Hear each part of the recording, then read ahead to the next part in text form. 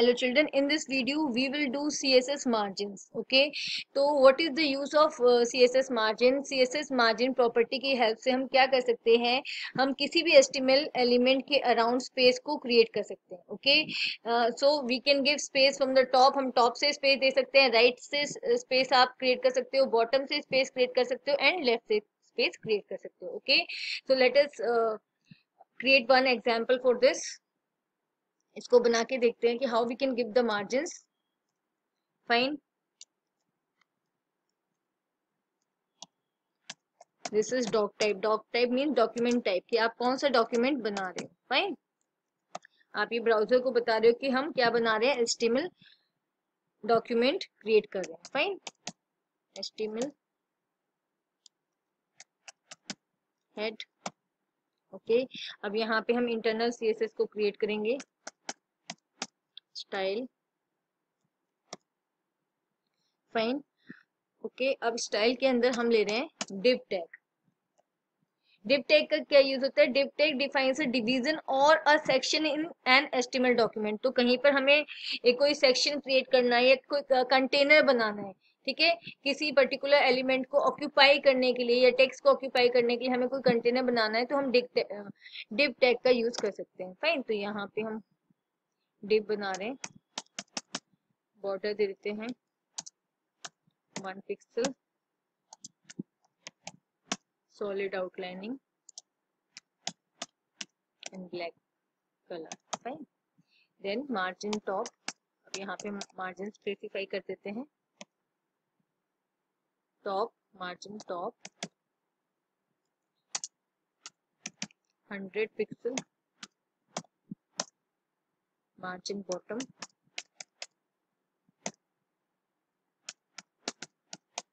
bottom again 100 pixel okay margin right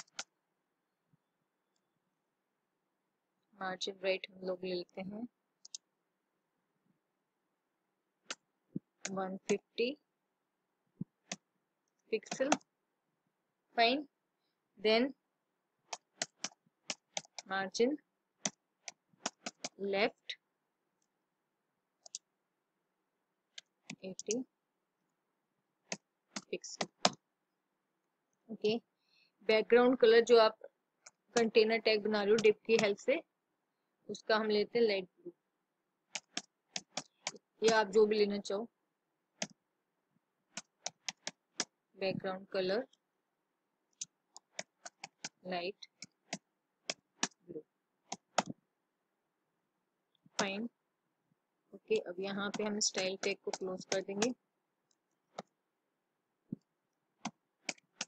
head close and then अब हम लोग क्या करेंगे? बॉडी टैग को स्टार्ट करेंगे. फाइन इसमें हम हेडिंग ले लेते हैं. एच वन हेडिंग हेडिंग ले लिया. Using individual margin properties.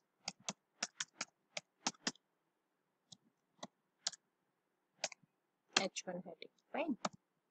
Okay अब यहाँ पे हम लेंगे div tag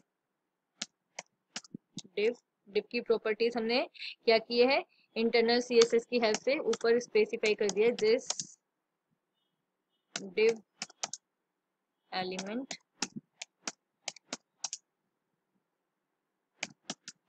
has a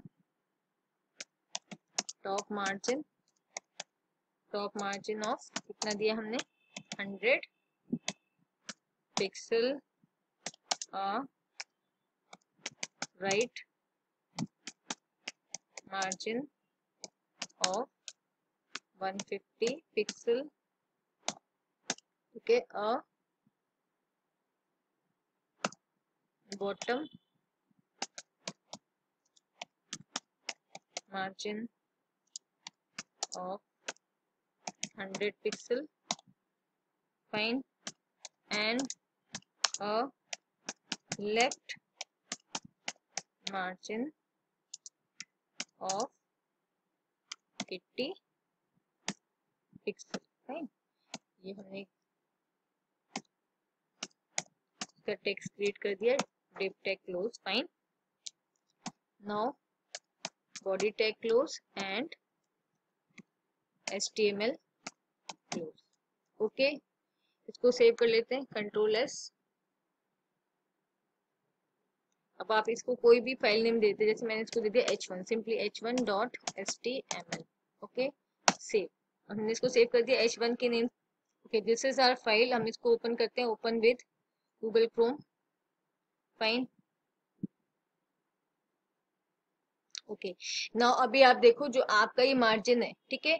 Top margin hundred pixel okay then bottom margin bottom में हंड्रेड पिक्सल का मार्जिन है। अगर और भी कोई एलिमेंट होता तो जो ये डिव एलिमेंट है, उस एलिमेंट के बीच में कितना डिस्टेंस होता?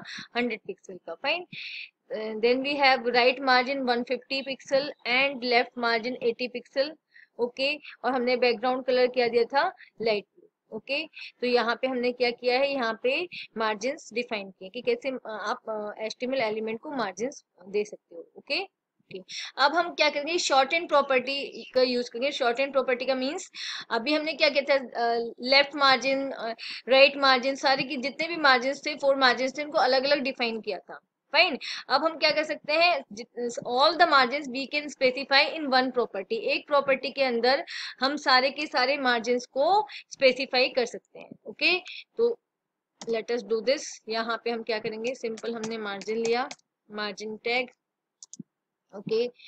25 pixel, fine. Then 50 pixel, then 75 pixel and then 100 pixel. Okay तो एक साथ क्या किया है? सारे मार्जिन को हमने स्पेसिफाई कर दिया यहाँ पे ठीक है? अब अब आपको बताना है कि जो ये मार्जिन दिए हैं वो कौन सा मार्जिन कहाँ अप्लाई होगा? द डिव एलिमेंट है द टॉप मार्जिन ऑफ़ जो टॉप मार्जिन है वहाँ पे कि, आ, वो कितना है? Twenty five pixel okay fine right margin of right right margin कितना होगा? फिफ्टी पिक्सल राइट साइड का okay and bottom margin of bottom का मार्जिन कितना होगा? Seventy five pixel okay and the left margin of left margin आपका कितना होगा? Hundred okay? तो यहाँ पे हमने शॉर्ट एंड प्रॉपर्टी का अप्लाई किया है। एक साथ ऑल मार्जिन हैव हम स्पेसिफाइड हमने सारे मार्जिन एक साथ स्पेसिफाई किए ठीक है? तो यहाँ पे देखो, जो फ़र्स्ट आपकी वैल्यू है वो किसका मार्जिन है? टॉप मार्जिन सेकंड किसका मार्जिन है? राइट मार्जिन थर्ड है bottom margin and the last one is left margin okay? अब हम इसको क्या करेंगे? सेव कर लेते हैं। कंट्रोल एस ओके जो और ये सेम फ़ाइल में चेंजेस किए हम करेंगे रिफ्रेश ओके इसको हम कर देंगे रिफ्रेश ओके okay, तो हमारा क्या आ गया है जो हमारा टॉप मार्जिन था वो कम हो गया ट्वेंटी फाइव पिक्सल हो गया है राइट मार्जिन आपका क्या हो गया है फिफ्टी पिक्सल हो गया फाइन ओके बॉटम आपका क्या है सेवेंटी फाइव पिक्सल है अगर कोई और एलिमेंट होगा तो उसके और डिव एलिमेंट के बीच में सेवेंटी फाइव पिक्सल का मार्जिन रहेगा ठीक है लेफ़्ट मार्जिन आपका हो गया हंड्रेड फाइन तो यहाँ पे हमने क्या किया? शॉर्ट एंड प्रॉपर्टी को अप्लाई किया है। Okay okay. अब अगर यहाँ पे मार्जिन के अंदर हम क्या करते हैं? वैल्यूज़ सिर्फ़ तीन वैल्यूज़ देते हैं। Okay okay? हमने यहाँ पे इसकी वैल्यूज़ को वन वैल्यू हटा देते हैं। हमने हंड्रेड को हटा दिया है। राइट हंड्रेड को आपने हटा दिया। तो अभी हमारे पास मार्जिन के अंडर जो मार्जिन प्रॉपर्टी है, उसकी कितनी वैल्यूज़ है? थ्री वैल्यूज़ है। तो ये कैसे अप्लाई करेंगी?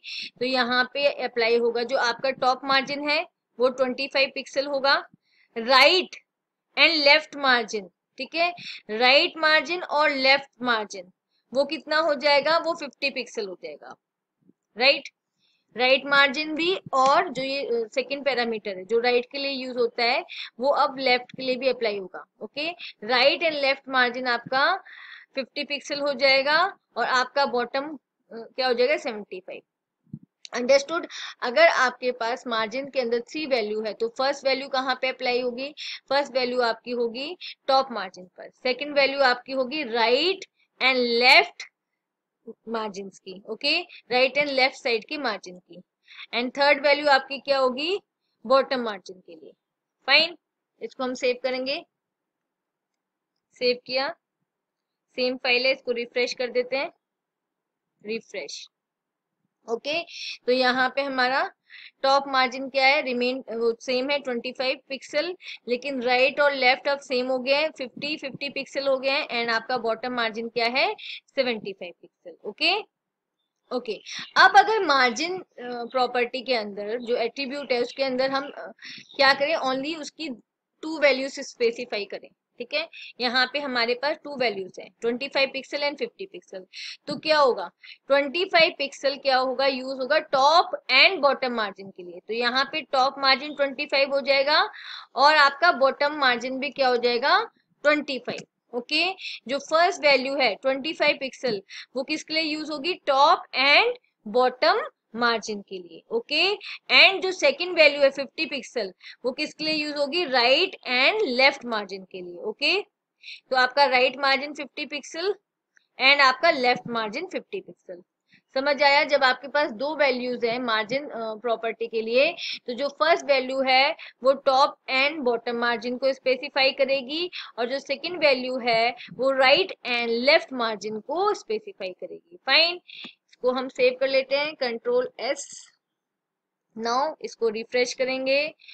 रिफ्रेश फाइन तो देखो, अभी इसके अंदर ज़्यादा चेंज क्योंकि हमारा यहाँ पे क्या हुआ, सिर्फ़ बॉटम मार्जिन ही चेंज हुआ है ना इस बार। 25 पिक्सल है अब अब ओके और 25 पिक्सल हो गया बिलो बॉटम में। और 50 एंड 50 पिक्सल आपका लेफ़्ट एंड राइट में ओके समझ आया? तो दो वैल्यूज़ को आप कैसे स्पेसिफाई करोगे? और अगर मार्जिन जो आपका प्रॉपर्टी है मार्जिन प्रॉपर्टी है, उसके अंदर आप सिर्फ़ एक ही वैल्यू देते हो। जैसे मैंने यहाँ पे 25 पिक्सल दिया है। तो क्या होगा? इसके जो ऑल द फोर मार्जिन है top bottom left and right सबका जो मार्जिन होगा वो क्या होगा? 25 पिक्सल ओके? तो ये जो 25 है, वो जो ऑल किसके ऊपर अप्लाई होगा? सारे मार्जिन के ऊपर ये 25 अप्लाई होगा, ठीक है? Top margin bottom margin left margin and right margin okay? तो ये हर all the four margin will be 25 pixel okay? Control S इसको हम कर देते हैं रिफ्रेश ओके? तो जितने भी मार्जिन थे वो कितने हो गए? 25 पिक्सल्स के हो गए, क्योंकि यहाँ पे हमने मार्जिन में क्या दिया था? ए की वैल्यू दी थी, okay? Okay. Next we have the inherit value इसका क्या यूज़ है? अगर आपने एक क्लास के लिए एक क्लास क्रिएट की, उसमें प्रॉपर्टीज़ को डिफाइन किया, ठीक है?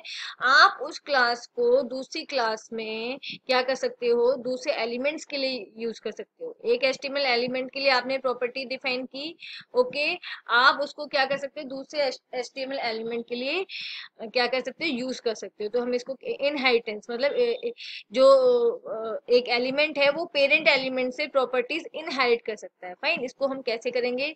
मैं एग्ज़ाम्पल की हेल्प से आपको समझाती हूँ। यहाँ पे हमने लिया doc type H T M L fine html head style internal CSS बना यूज़ करें, ठीक है? अब यहाँ पे हमने लिया div tag okay sorry div div और डिव के अंदर हमने क्या किया? स्पेसिफाई कर दिया.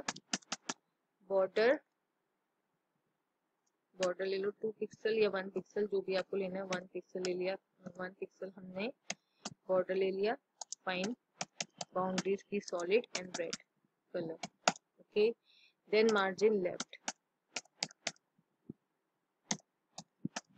margin left left से मार्जिन आप 200 पिक्सल ले लो। Okay okay, 200 pixel okay div के लिए हमने आ, क्या किया है? प्रॉपर्टीज़ एंड वैल्यूज़ स्पेसिफाई कर दिए border and margin left left margin के लिए। Okay okay? अब हमने क्या बनाया? क्लास बनाएँगे और हमने वो पैराग्राफिक पैराग्राफ स्पेसिफिक क्लास बना दी है मैंने इसका नाम लिख दिया E X one example one कुछ भी नेम लिख सकते हो आप क्लास का, लेकिन ये क्लास है क्या अब अब ये यूनिवर्सल नहीं है, सबके लिए यूज़ नहीं होगी। ये सिर्फ़ पैराग्राफ्स के लिए यूज़ होगी, क्योंकि मैंने इसको पी डॉट टैग से सॉरी पी डॉट से मैंने क्या कर दिया, इसको पैराग्राफ स्पेसिफिक बना दिया फाइन अब मैंने इसको ले लिया मार्जिन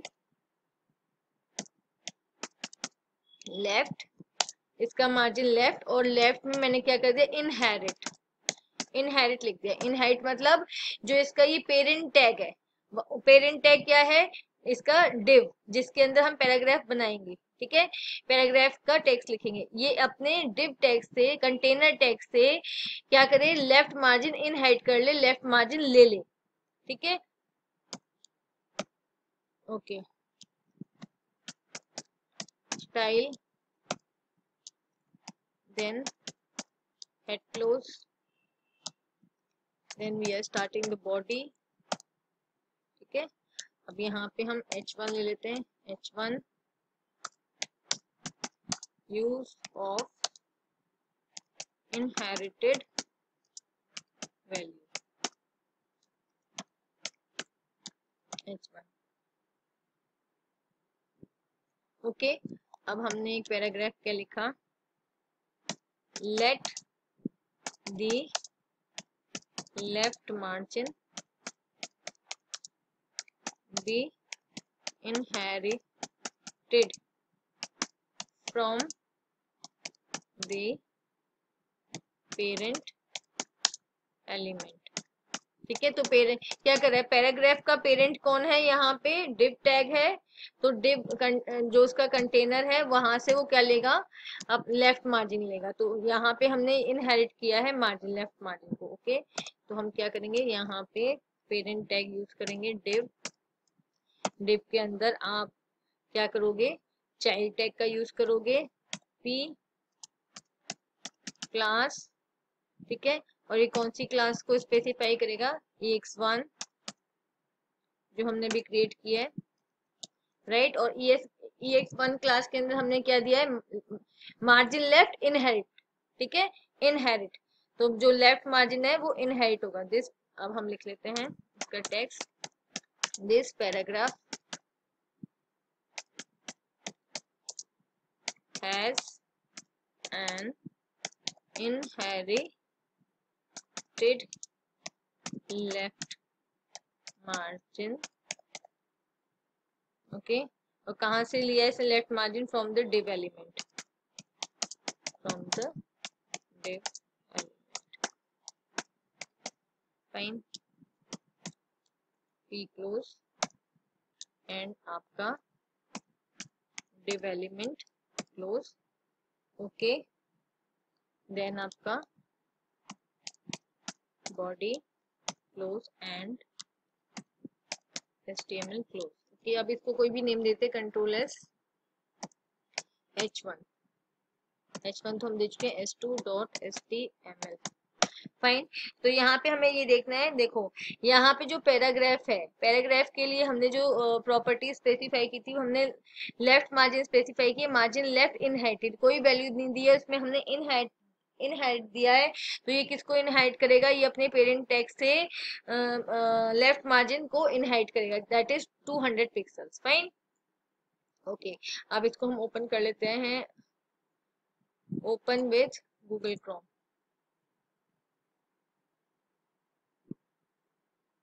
okay. अब यहाँ पे देखो, ये जो पैराग्राफ है, इसने क्या किया है? 200 पिक्सल का मार्जिन लिया है फ्रॉम लेफ़्ट फाइन हमने पैराग्राफ में कोई मार्जिन स्पेसिफाई नहीं किया था, लेकिन इसने क्या किया है पेरेंट जो इसका टैग था डिप टैग उससे इनहाइट किया इसको ओके तो इस in this way we can the elements can inherit properties from their parent tag okay parent element as well fine